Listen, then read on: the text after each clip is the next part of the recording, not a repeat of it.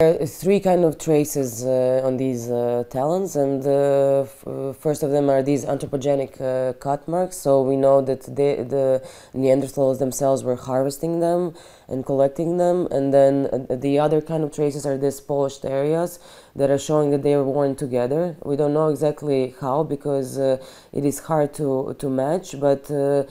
probably they were somehow stringed together.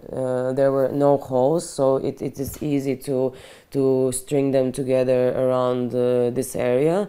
Usually three, three areas of body where they would be most uh, uh, usually worn and it's uh, somewhere in your hair or somewhere in, in uh, some kind of a headpiece, somewhere uh,